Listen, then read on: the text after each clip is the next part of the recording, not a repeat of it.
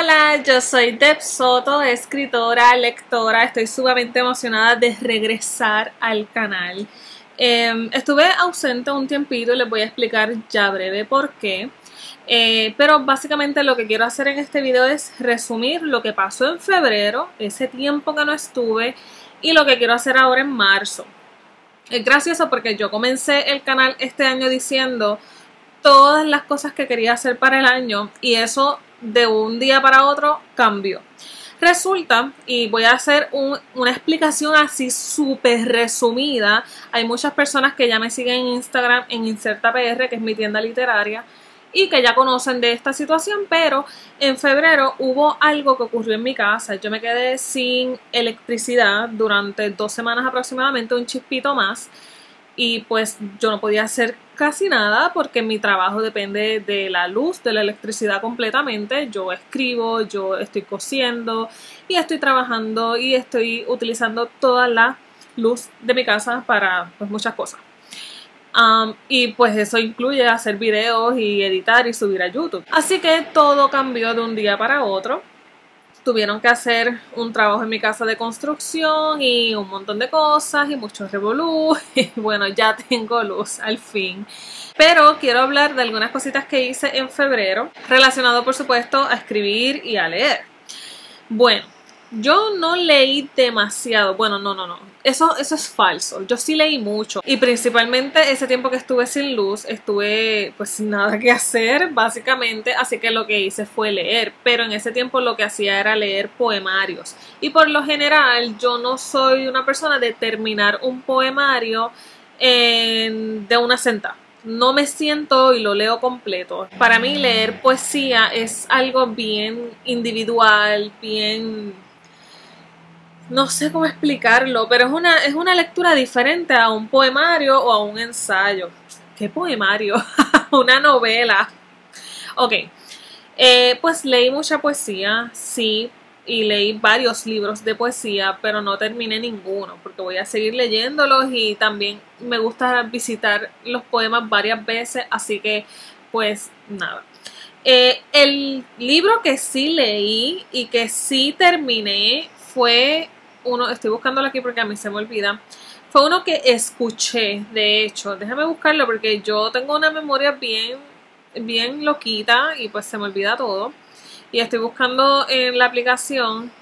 Eh, se titula Todos los días son nuestros de Catalina Aguilar Mastreta. Y lo especial de este audiolibro es que fue narrado por la misma autora. Fue increíblemente bueno. Fue una lectura Wow, ah, a mí me encantó, me fascinó. Fue una historia que no tiene nada que ver con fantasía, sí, es una historia de ficción, claro que sí. Eh, no es una historia verídica ni nada por el estilo, pero se aleja de lo que es fantasía, suspenso, este tipo de, de lecturas que yo busco bastante. Pero esta particularmente, todos los días son nuestros, es una historia que te acerca a ti mismo. Por lo menos en mi caso, yo aprendí un montón de cosas, de esas cosas que uno siente que ya sabe, pero que nunca exterioriza o que como no habla con más nadie, pues simplemente no va a esos puntos. Este libro habla mucho de, de cuando tú rompes con tu pareja y todas esas cosas que sientes, todos esos momentos por los que pasa, es un proceso. Se escucha si tú ves la sinopsis, si tú lees la sinopsis, no te va a llamar la atención para nada, pero es que es un libro que está súper bien narrado, la selección de palabras, las referencias, el montón, a mí me encantan las películas y el montón de películas que se mencionan, em, y digo, esos son elementos, ¿verdad? Que no tienen nada que ver con que si el libro es bueno o no, pero más allá de lo que me gustó en cuanto a los personajes y demás, y la, el humor del libro, es lo que, lo que te lleva a ti a reflexionar. Me fascinó.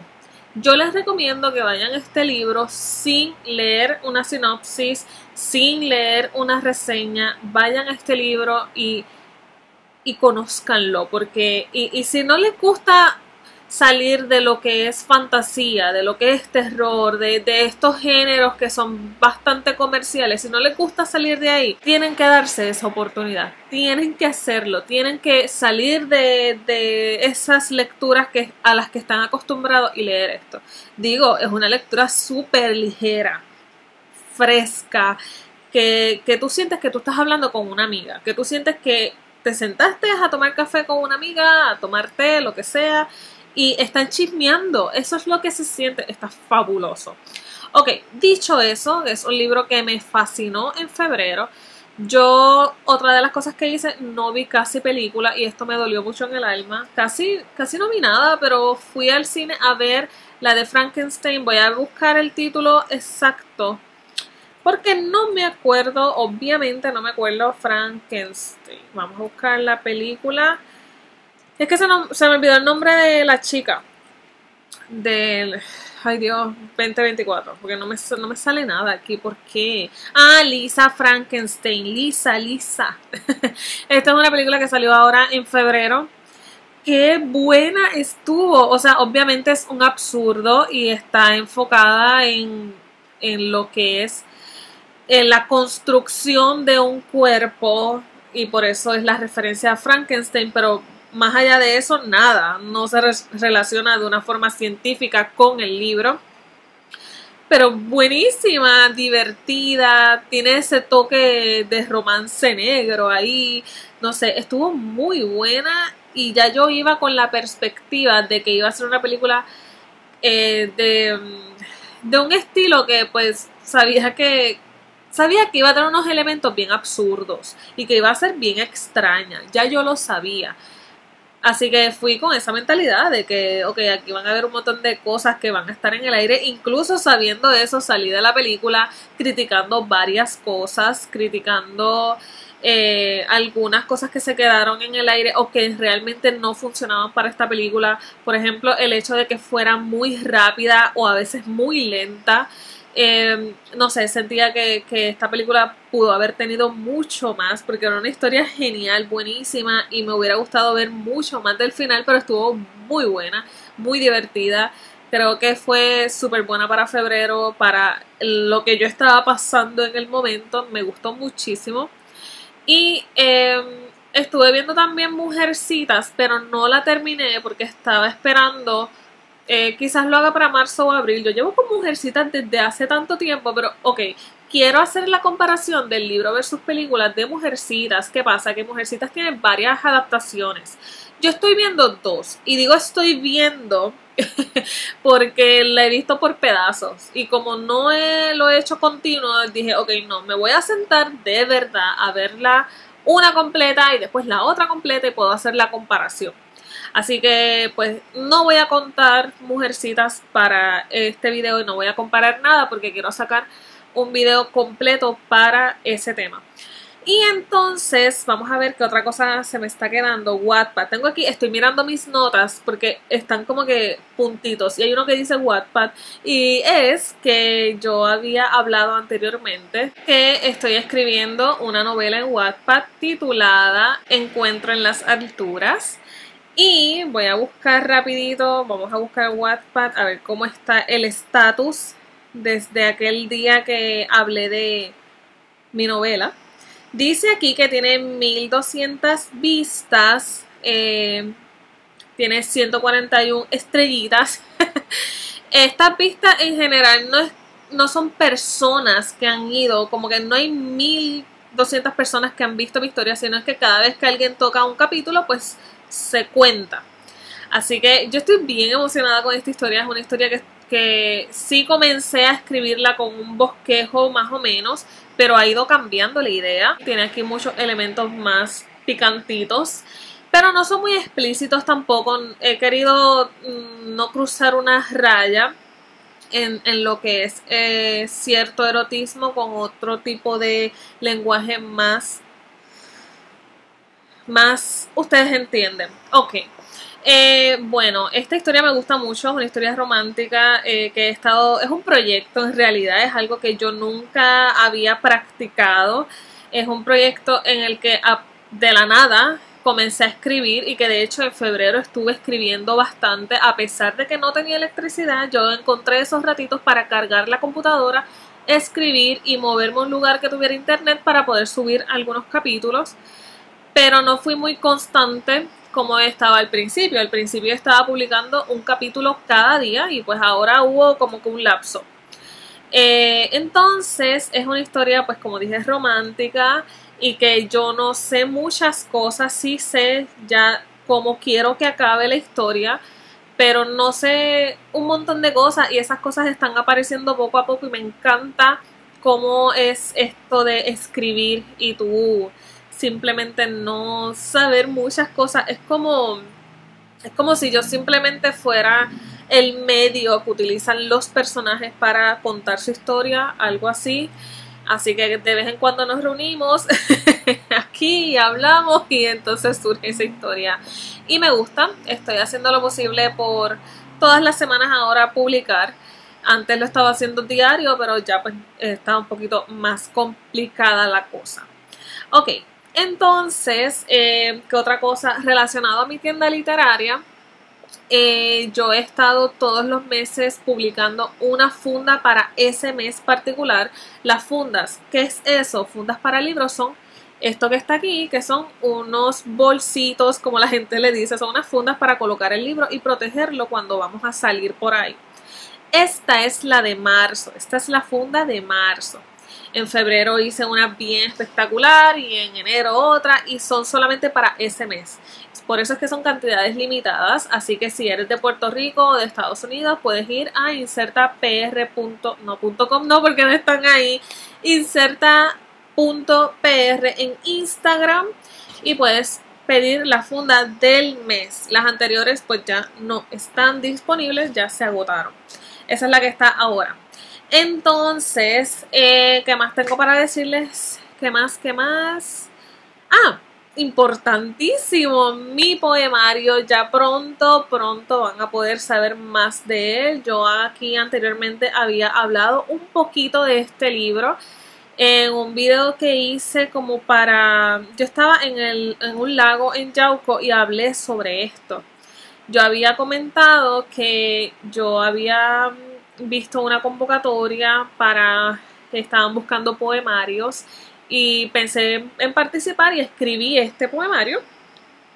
Y resultó que me gustó tanto que yo dije, yo no quiero enviarlo a ninguna convocatoria, yo quiero que este poemario sea mío en su totalidad. Y cuando digo mío es porque lo quiero autopublicar. O sea, yo quiero hacerlo todo. Escribirlo, editarlo, maquetarlo, lanzarlo en Amazon en KDP y hacerlo todo yo por mi cuenta. Así que ese es otro proyecto totalmente nuevo porque a pesar de que ya yo he publicado una novela, a pesar de que ya yo he publicado un libro, nunca lo he hecho sola, nunca he trabajado sola y esto es una experiencia totalmente diferente, nueva y es un reto de hecho, pero quise trabajarlo. Ya tengo la portada, ya tengo eh, el libro, de hecho ya está eh, por ahí. Pero lo voy a, estoy esperando ver mi copia, ver que está todo bien, corregir lo que se tenga que corregir para entonces espero que en abril ya los lectores puedan tener en sus manos este libro. Así que, ya dicho eso, eh, hablé de mi poemario, hablé de Inserta, hablé de lo que leí en febrero, me falta algo. Yo hice una, como que un tipo de encuesta en Instagram, particularmente en, la tienda literaria. Voy a buscar las imágenes aquí porque Déjame ver. La encuesta era, una pregunta. Yo les estaba diciendo como que mm, tengo ganas de leer algo que no sea de lo que tengo en mi lista de pendientes, que es bien larga. Pero quiero leer algo que ustedes me recomienden. Entonces les voy a buscar las respuestas o algunas de ellas porque no me quiero extender demasiado aquí. Les voy a leer los títulos que me recomendaron y, y les voy a decir que voy a leer o que decidí. Ay, a mí se me está quedando algo porque hay unos libros que me, me los recomendaron no, no por la encuesta de las historias, sino que me escribieron en mensajes, pero eso los busco ya mismo. Ok, me dijeron Hunting Adeline o Adeline, no sé cómo se pronuncia, pero me da gracia porque ella puso una carita riéndose, un emoji riéndose, entonces no sé qué significa. No sé por qué me lo estás recomendando. Me están recomendando también El Vescuchador, que esto es un libro de un autor puertorriqueño y que sí que lo quiero. que sí quiero, que sí quiero leer. Eh, hay una muchacha que me dijo, Acho, pero si debes haber leído como mil. Bueno, pero como quiera, acepto recomendaciones.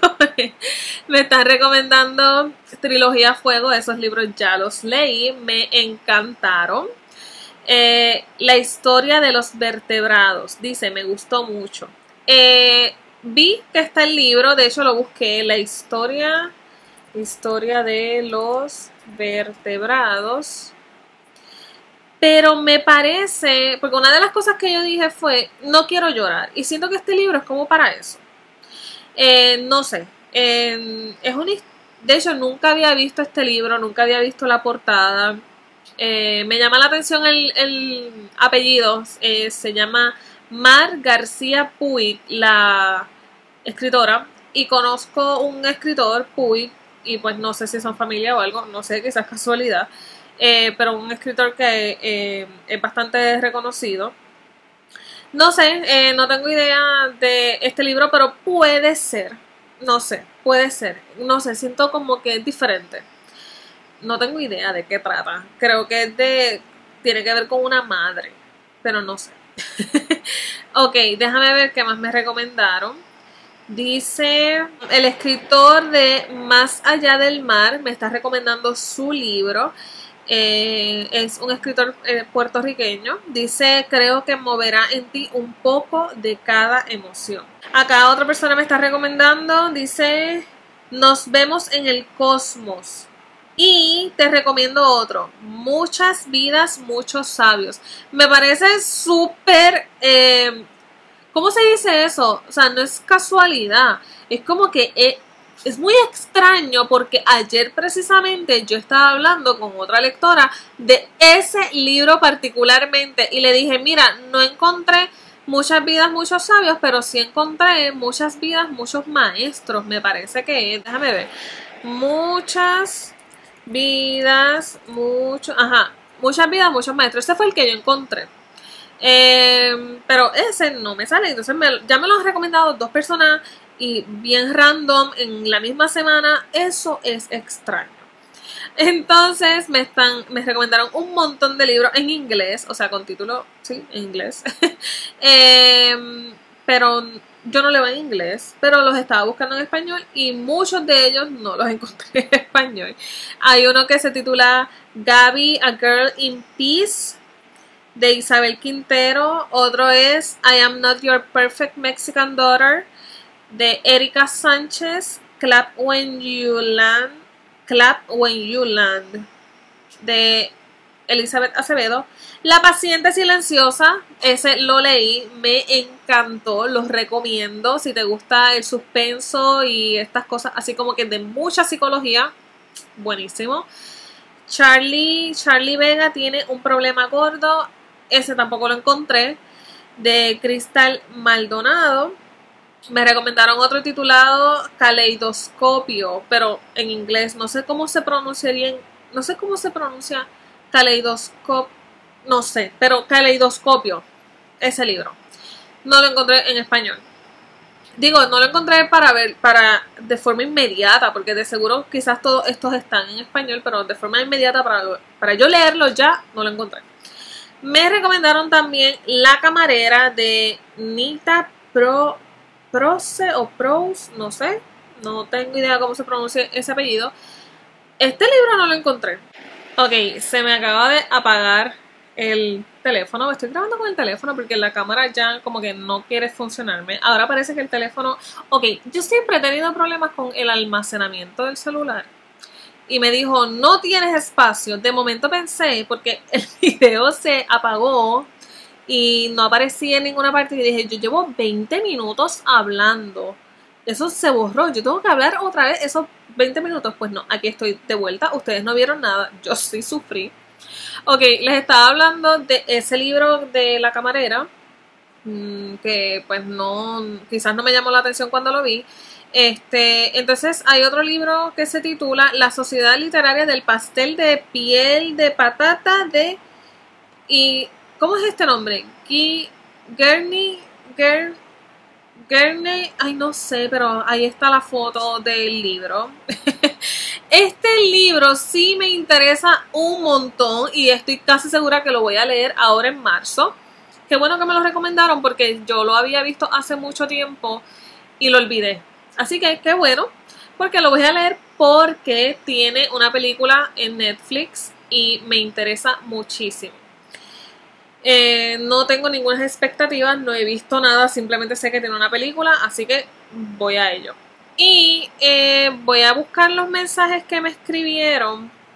Alguno que otro libro. Déjame ver rapidito. Eh, voy a entrar aquí a Instagram. Bueno, me están recomendando un libro. Bueno, me recomendaron varios, pero yo dije, ya esos los he leído. Entre ellos Tuya de Claudia Piñeiro. A mí me fascina esta escritora y ese lo leí. Me encantó. Tengo que leer la segunda parte que salió el año pasado. La, cosa con tuya es que tuvo un tiempo bien largo de un libro al segundo y bueno, pues lo quiero leer. Entonces, me está recomendando La nieta del señor Lin, creo que se dice así, de Philip, Philip Claudel. No sé si se pronuncia así, pero me llama la atención porque es bien cortito, es una lectura corta ella me dice que tiene como que un matiz triste, que no es lo que estoy buscando, pero me llamó la atención. No sé qué fue lo que leí, que sí que me llamó. Ah, ya sé. Yo leí algo que me pareció interesante que decía que el estilo narrativo es extremadamente depurado y minimalista. Y eso a mí me encantan cuando las narraciones son diferentes a lo que estamos acostumbrados, no solamente porque pues uno se, se mete en una lectura diferente. no sé qué más decir, pero e, eso a mí me gusta mucho, aparte de que aprendo. Em, y nada, bueno, creo que hay otros libros por ahí. Ah, sí, me recomendaron, me recomendaron varios más. Déjame ver si los puedo mencionar rapidito, es que no quiero que este video sea demasiado largo. Ay, eh, no los tengo aquí, no los tengo aquí. Pero sí, este recuerdo que estaba la canción de Aquiles, eh, algo de lecciones de química, creo que se titulaba, y 1984. Así que creo que lo voy a dejar ahí. no sé, no estoy muy segura cuál escoger. Estoy entre la sociedad y el de la nieta de Lynn. No estoy segura. También tengo unos cuantos libros que yo había dicho al principio del año que sí quería leer, unos libros que habían ganado unos premios. Tengo unos cuantos ahí. Tengo, en realidad yo tengo un montón de libros, pero de los que me recomendaron, estoy entre esos dos, La Sociedad y La Nieta de Lynn. Y probablemente los lea los dos en marzo. No sé, puede que sí, sí. Así que nada, yo creo que hasta aquí, si tú tienes alguna recomendación de un libro que te gustaría que yo lea, que te gustaría que comente aquí en YouTube o que si tiene película mejor todavía y que haga una comparación del libro versus película, recomiéndamelo en los comentarios. Quiero, yo leo todos los comentarios, ya sea aquí, ya sea en Instagram, ya sea donde, donde tú me escribas, yo lo voy a leer y lo voy a tomar en consideración. Así que, eh, nada, yo voy a dejar hasta aquí el video. Dime tus recomendaciones de libros dale like, que me ayuda un montón a crecer y a que otras personas me conozcan. Y nada, nos vemos en la próxima. Chao.